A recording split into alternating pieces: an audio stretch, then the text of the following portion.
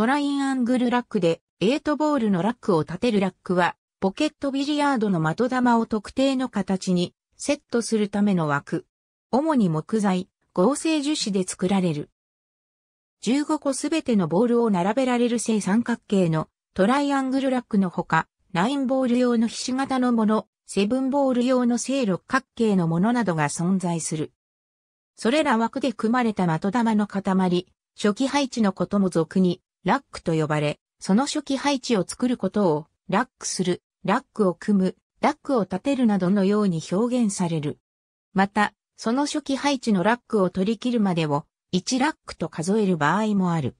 なお、スヌーカーのレッドボールの塊はパックと呼ばれる。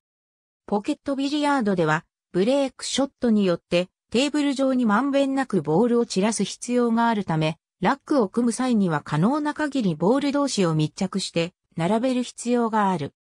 ラックを使ってボールを並べる際、羅斜面の微妙な凹凸などにも影響されて、ボールが羅斜のくぼみ方向にわずかに転がったりするなどし、密着させる限度がある。このような問題を解消するために、いくつかの商品が考案されている。ローサルドが考案したラック。俗にサルドラック、タイトラックと呼ばれる。ボールを密着した状態となるように真上から加圧し、ラシャに押し付ける形で、的玉の位置を固定する器具。ラック部分のラシャの状態を整える専用の用具が付属する。US オープン等の大会で使用されている。ドーナツ状のシールをラシャに貼り付け、その上にボールを置くと、ラシャ面とシールの段差によりボールの位置が固定されることを利用したアイディア商品。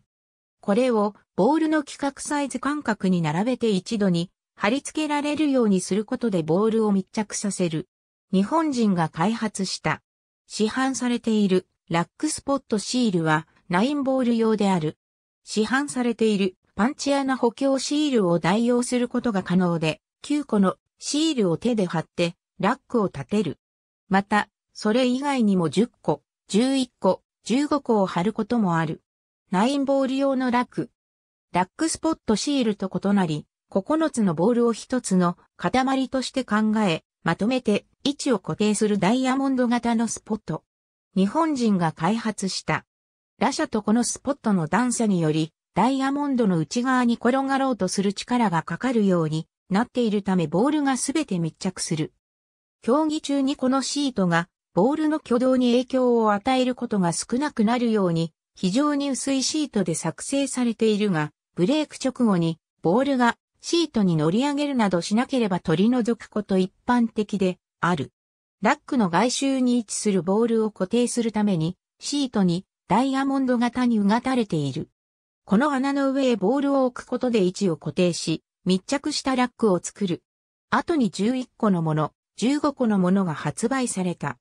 ブレイクショットの練習をするために利用される5から6センチメートル程度の厚さに積み上げた雑誌の塊。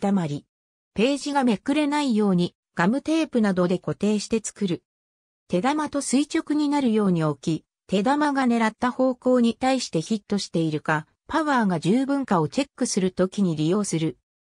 前述のラックスポットシールが貼られたテーブルで用いる。時は、ラックの水平方向の動きがシールを剥がすことがある。ためヘッド側に置いて、フット側からショットをすることが望ましい。球を立てる棚、球立てのこと。本記事のラックとは無関係。詳細は球を参照。ありがとうございます。